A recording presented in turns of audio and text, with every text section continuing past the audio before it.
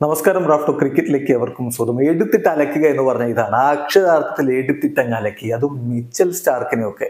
ഒരു ഓവറിൽ നാല് സിക്സർ സ്റ്റാർക്കിന് കൊടുത്തു. കൂടാതെ ഒരു ഫോറും കൊടുത്തു. അങ്ങനെ ഇരുപത്തിയെട്ട് റൺസാണ് ലിയാം ലിവിങ്സ്റ്റൺ അടിച്ചു കൂട്ടിയത്. ആ ഓവർ നോക്കുക. ആദ്യ പന്ത് സിക്സർ അടുത്ത പന്ത് അദ്ദേഹത്തിന് മിസ്സായി അടുത്ത പന്ത് സിക്സർ വീണ്ടും സിക്സർ വീണ്ടും സിക്സർ അവസാന പന്ത് ഫോർ അടിച്ചു. അങ്ങനെ റെഡിക്കുലർ സിറ്റിംഗ് ആണ് ലിയാം ലിവിങ്സ്റ്റൺ നടത്തിയത്.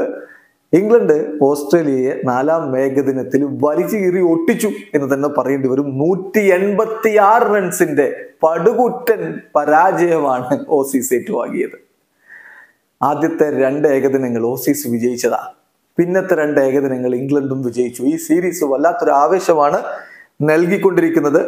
കാലാവസ്ഥാ പ്രശ്നം കാരണം മുപ്പത്തി ഒമ്പത് ഓവറായിട്ട് ചുരുക്കിയിട്ടുള്ള മത്സരത്തിൽ ഇംഗ്ലണ്ട് ആദ്യം ബാറ്റ് ചെയ്തിട്ട് മുപ്പത്തി ഒമ്പത് ഓവറിൽ അഞ്ച് വിക്കറ്റ് നഷ്ടത്തിൽ മുന്നൂറ്റി പന്ത്രണ്ട് റൺസാണ് അടിച്ചു കൂട്ടിയത്. അതിൽ എടുത്തു പറയേണ്ടത് ലിവിങ്സ്റ്റൺ ഈ വെടിക്കറ്റാണ് ലിവിങ്സ്റ്റൺ അവസാന ഘട്ടത്തിൽ ഇരുപത്തിയേഴ് പന്തുകൾ മാത്രം നേരിട്ട് മൂന്ന് ഫോറും ഏഴ് സിക്സറും അടക്കം അറുപത്തിരണ്ട് റൺസാണ് അടിച്ചത്. ഫിൽസാൾട്ട് ഇരുപത്തിരണ്ട് റൺസ് അടിച്ചപ്പോൾ ഡക്കറ്റ് അറുപത്തിരണ്ട് പന്തിൽ അറുപത്തി മൂന്ന് റൺസ് വിൽജാക്സ് പത്ത് ഹാരി ബ്രൂക്ക് വീണ്ടും അദ്ദേഹം മിന്നി. നായകന്റെ പ്രകടനം അൻപത്തിയെട്ട് പന്തിൽ അദ്ദേഹത്തിന്റെ വക എൺപത്തിയേഴ് റൺസ് ഉണ്ടായിരുന്നു. അതോടൊപ്പം തന്നെ ജാമി സ്മിത്തിന്റെ ഒരു മുപ്പത്തി ഒമ്പത് റൺസിന്റെ കോൺട്രിബ്യൂഷനും ഇതെല്ലാം കൂടി ചേർന്ന് ഇംഗ്ലണ്ട് മുന്നൂറ്റി പന്ത്രണ്ട് എന്നുള്ള പടുകൂറ്റൻ സ്കോറിലേക്ക് പോവുകയും ചെയ്തു. സ്റ്റാർക്കിന് കിട്ടി.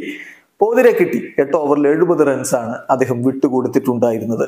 മറുപടി ബാറ്റിംഗിലെ ഓസീസ് മികച്ച തുടക്കമാണിട്ടത്. അതെടുത്തു പറയണം. പക്ഷെ അത് കഴിഞ്ഞതിന് ശേഷം എല്ലാം കൂടി അങ്ങ് പൊട്ടി തകർന്ന് വീണു നൂറ്റി ഇരുപത്തി ആറ് റൺസിന് ഓൾ ഔട്ട് ആകുന്ന ഒരു കാഴ്ച. മിച്ചൽ മാർഷും ട്രാവിസ് ഹെഡും ചേർന്നുകൊണ്ടുള്ള ഓപ്പണിംഗ് കൂട്ടുകെട്ട് എട്ട് ഓവർ കഴിയുമ്പോൾ അറുപത്തിയെട്ട് റൺസിലേക്ക് ടീമിനെ കൊണ്ടുപോയിരുന്നു. പക്ഷെ പിന്നീട് വിക്കറ്റുകൾ വീണു. മാർഷ് ഇരുപത്തെട്ട് റൺസ് മുപ്പത്തിനാല് പന്തിൽ നിന്നാണ് അത് അതേസമയം ട്രാവിസ് ഹെഡ് ഇരുപത്തിമൂന്ന് പന്തുകളിൽ നിന്ന് മുപ്പത്തിനാല് റൺസ് നേടി. പിന്നീട് ആർക്കും മികവ് കാണിക്കാൻ കഴിയാതെ വന്നതോടുകൂടി അവരുടെ ആ ഒരു ഇന്നിങ്സ് ഇരുപത്തിനാല് ഓവറുകളിൽ നൂറ്റി ഇരുപത്തി റൺസിന് ഓൾ ഔട്ട് ആവുകയായിരുന്നു. നാല് വിക്കറ്റാണ് പോർട്സ് ഇംഗ്ലണ്ടിന് വേണ്ടി നേടിയത് ജോഫ്രെ ആർച്ചറും മടങ്ങി വന്നു അദ്ദേഹത്തിന്റെ മികവ് കാണിച്ചു തുടങ്ങി. ഏഴ് ഓവറിൽ മുപ്പത്തിമൂന്ന് റൺസിന് അദ്ദേഹം രണ്ട് വിക്കറ്റ് വീഴ്ത്തിയപ്പോൾ ബ്രൈഡൻ കാഴ്സിന്റെ പ്രകടനം എടുത്തു വരണം. ആദ്യ ഓവറിൽ പത്തൊമ്പത് റൺസാണ് കാഴ്സ് വിട്ടുകൊടുത്തിരുന്നതെങ്കിൽ പിന്നീട് കാഴ്സ് ആറ് ഓവറിൽ മുപ്പത്തി ആറ് റൺസിന് മൂന്ന് വിക്കറ്റ് എന്ന രൂപത്തിൽ മികച്ച ബൗളിംഗ് പ്രകടനം അദ്ദേഹവും നടത്തുകയുണ്ട് അതിൽ റഷീദ് ശേഷിക്കുന്ന ഒരു വിക്കറ്റ് വീഴ്ത്തി. അങ്ങനെ ഇംഗ്ലണ്ട് തകർപ്പൻ വിജയമാണ്. നൂറ്റി എൺപത്തി ആറ് റൺസിന്റെ തകർപ്പൻ വിജയമാണ് നേടിയിരിക്കുന്നത്. ക്രിക്കറ്റ് ലോകത്തെ കൂടുതൽ വിശേഷങ്ങളുമായി റഫ്റ്റോക്സ് എടുത്താം